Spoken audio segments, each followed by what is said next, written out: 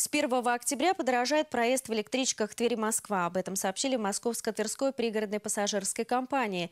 Это повлияет на стоимость разовых и абонементных билетов, заявили в компании перевозчики. Цена на билеты вырастет и для обычных пригородных поездов, и для «Ласточек».